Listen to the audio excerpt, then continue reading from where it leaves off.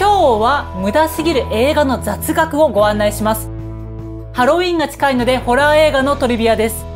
アメリカでは実はホラー映画がリリースされやすい時期が8月、また1、2月なんです。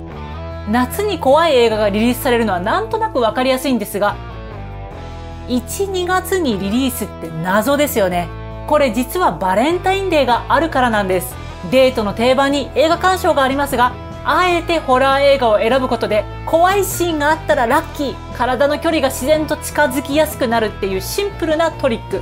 しかもアメリカのホラー映画ってヌードシーンが多いことでもよく知られているので、怪しげなムードを作り上げるにはもってこいだったりするわけですよ。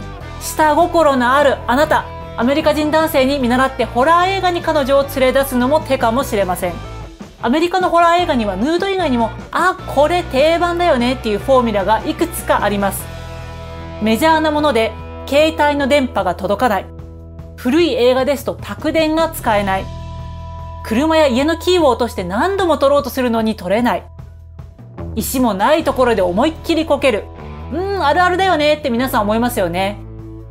実は他にもこれをやると真っ先にサイコキラーに殺されるっていう意外な定番ルールがアメリカのホラー映画にはあります。